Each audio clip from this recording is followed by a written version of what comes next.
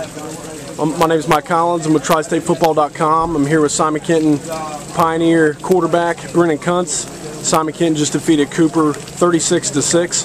Brenen, what were you guys able to do uh, against Cooper to uh, kind of come back? I know you guys gave up the early points there, but you came back and really stormed out to a good lead. Well, I mean, it didn't help the weather. It was horrible, of course, but uh, we uh, we ran the ball. Our other line played great. They blocked everyone, and we ran the ball pretty well.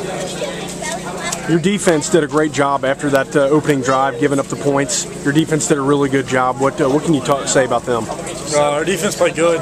After the first drive, they had a lightning delay, so they came in. They were you know kind of down, but we got them back up, and they did everything right after that, and they were playing pretty well.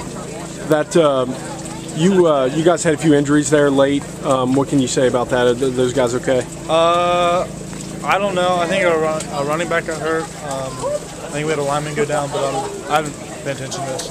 Okay. Um, now, with uh, playing in this type of weather, what, what are the challenges of playing in this type of weather?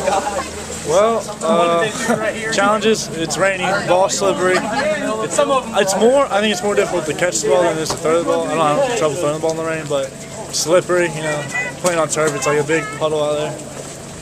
Now, uh, you guys are starting the season five and zero.